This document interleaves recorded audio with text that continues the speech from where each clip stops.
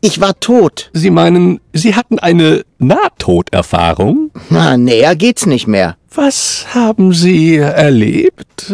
Erst war alles wie ein Albtraum. Dann erinnere ich mich an ein Licht. Und schließlich bin ich vor meinen Schöpfer getreten. Wirklich? Ja, er heißt Hermes. Cooler Typ eigentlich. Zu dumm, dass er sich meinetwegen umbringen musste. Ähm, aha. Ich könnte von meiner Kindheit erzählen. Sehr gerne. Mein Ziehvater war Bürgermeister in unserem Dorf. Am Anfang hat er mich noch mit ins Rathaus genommen. Aber irgendwann bekam ich Hausverbot, weil ich versehentlich der Schrapnellküste den Krieg erklärt hatte. Danach war ich meistens allein zu Hause eingesperrt. Sie hatten keinen Schlüssel? Nein, ich war ja noch sehr jung. Aber als ich dann vier wurde, habe ich gelernt, wie ich die Handschellen mit dem Bügel aus Opas BH aufbekomme. Ähm, aha. Lassen Sie uns das Thema wechseln. Ist es Ihnen etwa unangenehm, all diese Dinge von sich offen zu legen? Aber nein, ganz im Gegenteil. Tja, das sollte es aber. Ich bin eigentlich nicht zum Quatschen hier. Sie erwarten Resultate. Das ist ganz normal. Wenn es Ihnen schwerfällt, über Ihre Probleme zu reden, können wir auch mit etwas anderem anfangen. Wie wäre es zum Beispiel mit einem Rorschach-Test? Rohrschach? Ist das so ähnlich wie Hülsenhalmer? Es ist ein Assoziationsspiel mit Karten. Ein Kartenspiel, sauber. Aber geben Sie sich keine Mühe. Bei Kartenspielen gewinne ich immer, weil ich bin der lässigste Typ überhaupt. Viel besser als beispielsweise mein Vater. Äh, okay. Dann lassen Sie uns doch einfach mal anfangen. Penis! Äh, ich meine, los geht's. Also, was erkennen Sie auf diesem Bild hier? Aha. Was soll denn das sein?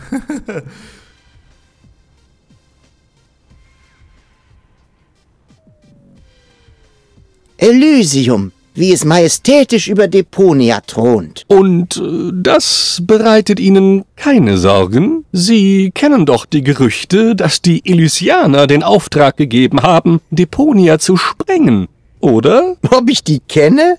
Ich habe sie in die Welt gesetzt. Ähm, aha, vielleicht sollten wir mit dem nächsten Bild weitermachen. Was erkennen Sie hierauf?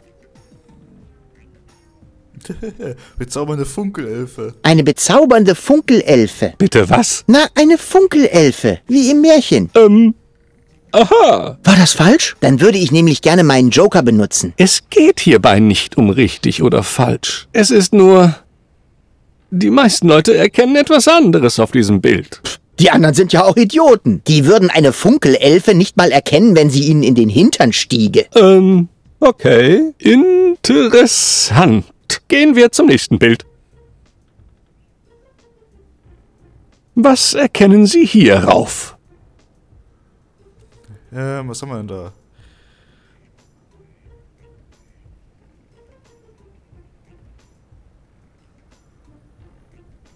Das bin ich, wie ich die Welt rette. Bitte bleiben Sie ernst. Hä? Wieso? Sie sind doch der mit der Juxbrille. So, das war's. Wenn Sie lieber herumalbern, anstatt mir ernsthafte Antworten zu geben, sind Sie an der falschen Adresse. Aber ich habe doch nur gesagt, was ich gesehen habe. In dem Fall sollten Sie erst recht gehen. Für Leute wie Sie gibt es hier keine Therapie. Sie sollten es vielleicht mit Exorzismus versuchen. Und bitte halten Sie sich so weit wie möglich von mir fern. Oh, können wir ihm nicht einfach das Schild über den Kopf hauen? Er hat schon einen Job. Leuten beim Rumjammern zuhören, das kann ich auch. Zum Beispiel, ähm, na, diesen großen Typen mit dem Bart. Wie heißt er noch? Ähm, Boso. Ein ganzer Schrank. Also wenn ich Boso damit nicht wieder aufgepäppelt kriege.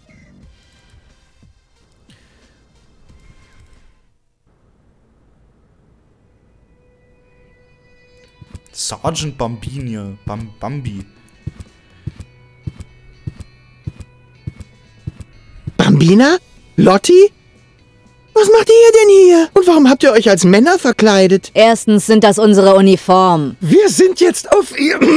Offiziere des Widerstands! Offiziere. Köstlich. Und zweitens heißt das jetzt Private Lottie und Sergeant Bambi. Sergeant Bambi. Hörst du das, Lotti? Ich glaube... Ich glaube, Rufus macht sich über uns lustig, Sergeant. Offensichtlich ist er auf der Suche nach einem Satz neuer Zähne. Ladies, Ladies, immer mit der Ruhe. Wir wollen uns doch nicht aufregen. Das gibt Fältchen. Wo sind die echten Rebellen? Wie meinst du das, die echten? Denkst du, das hier ist nur ein Traum oder was? Wenn ich dich pieksen soll, ich hab hier eine Nadel. Mit der komme ich im Zweifelsfall bis auf die Knochen. Äh, nein, nein, ich meine doch die echten Rebellen. Janosch, Garlev, Liebold, die alte Truppe eben. Ach so, die. Janosch ist, soweit ich weiß, auf einer Mission. Galef und Liebold sind im Lager. Gleich hinter dem Tor dort. Da müssen die wohl erstmal reichen. Ihr seid jetzt also auch beim Widerstand. Was dagegen? Aber nicht doch, Sergeant Bambi.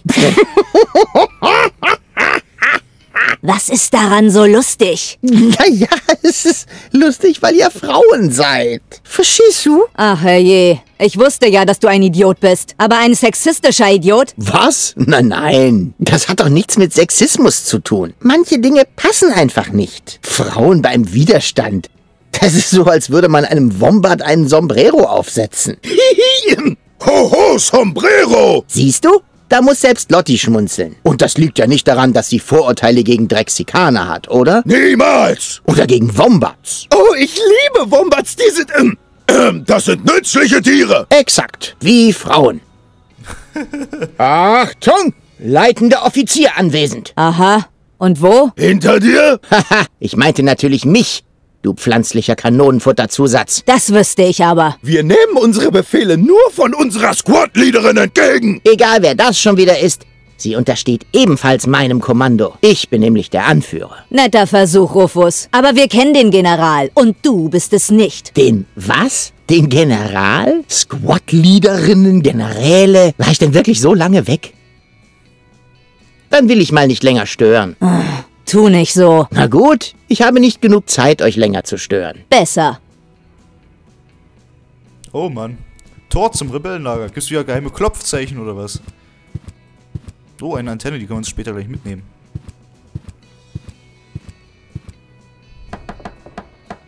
Huhu! Aufmachen! Ja? Liebold, so ein Glück. Ja, nun lass mich rein. Kennen wir uns? Bitte was? Ich bin's, Rufus. Du wirst doch wohl deinen Anführer erkennen. Du siehst aus wie Rufus. Aber du kannst es nicht sein. Rufus ist mit Janosch zur oberen Aufstiegsstation vorgestoßen. Aber ich bin doch hier. Das ist deine Meinung. Ich habe jetzt keine Zeit für diese Spitzfindigkeiten. Wer hat hier die Verantwortung? Wir haben jetzt einen neuen Anführer. Gut, dann lass mich rein. Ich will mit ihm sprechen. Das geht nicht. Wer garantiert mir, dass du kein Spion des Organon bist? Das ist doch die Höhe. Ich habe diese Rebellion immerhin gestartet. Gibt es irgendwen, der das bezeugen kann? Du meinst außer dir? Genau. Irgendwer muss für dich bürgen. Das ist zwar Beamtenwillkür in ihrer schärfsten Form, aber kein Problem. Ich bin gleich zurück. Und du kannst dich schon mal auf ein paar Liegestütze vorbereiten.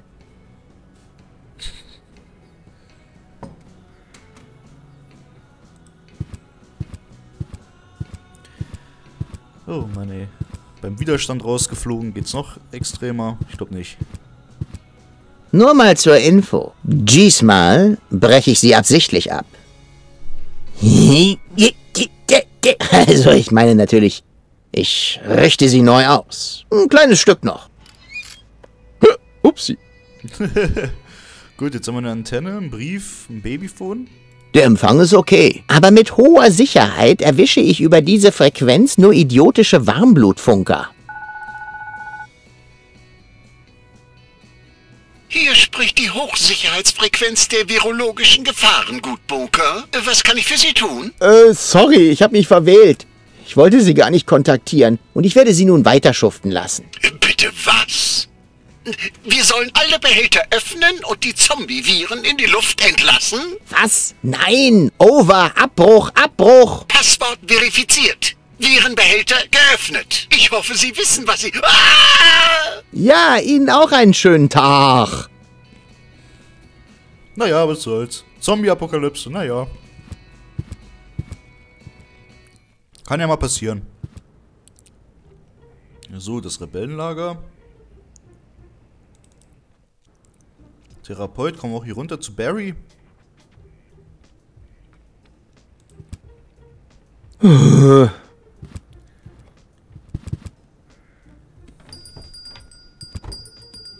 Barry, da ist jemand an der Tür!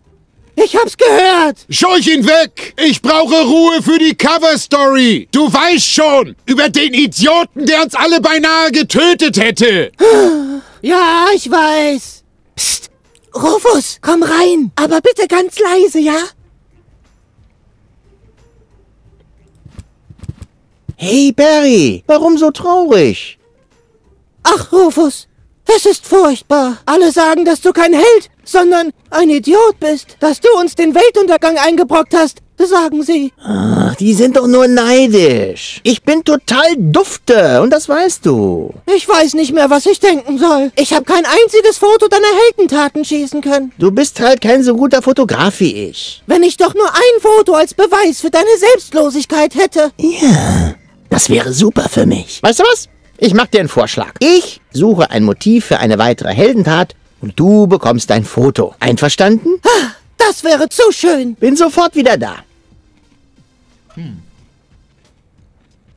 Fingerfokus. Er hat schon einen Job. Er ist mein Biograf. Habe ich ihm das überhaupt schon gesagt? Ha, egal, er kann es ja nachlesen.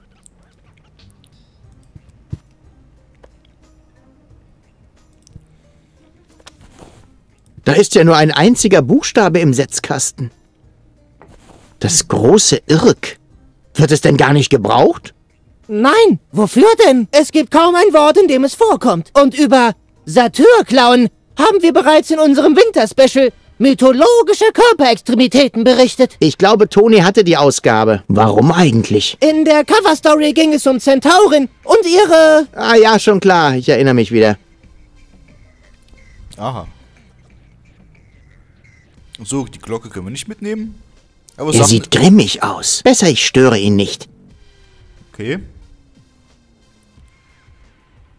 Können wir nochmal mit Barry reden? Wir sollen ein Foto von unserer großartigen Tat machen. So, wir haben Druckerschwert, wir haben Papier, wir haben das Wort, äh, den, Bei den Bleisatz Irk.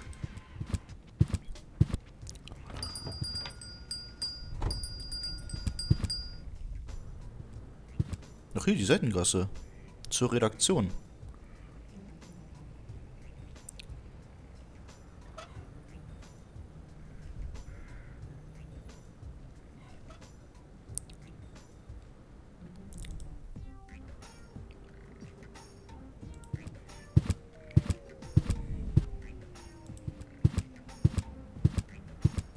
Darf ich kurz stören? Ui, guck mal, Muck. Da ist Babyboso. Unsinn, Frau! Das ist nicht Baby Boso, sondern ein verirrter Landstreicher. Ach ja? Und wie komme ich denn auf Babyboso?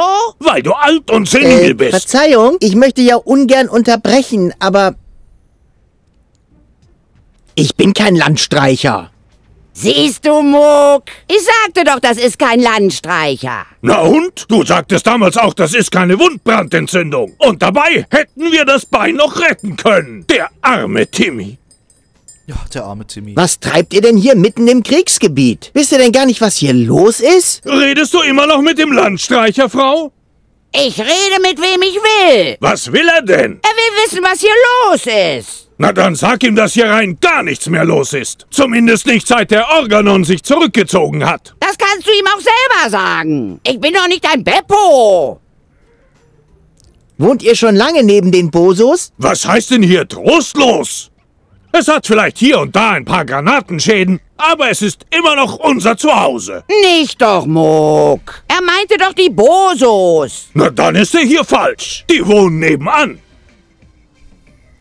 Wisst ihr, was mit Boso los ist? Ach, du bist ein Freund von Boso? Unsinn, Frau! Boso freundet sich doch nicht mit irgendwelchen Landstreichern an. Im Gegensatz zu dir hat er nämlich noch einen restlichen Funken Grips. Auch wenn er sich momentan nicht so benimmt. Er ist deprimiert, Muck. Natürlich ist er das. Er hat keinen Job, keine Freundin, die Welt geht unter.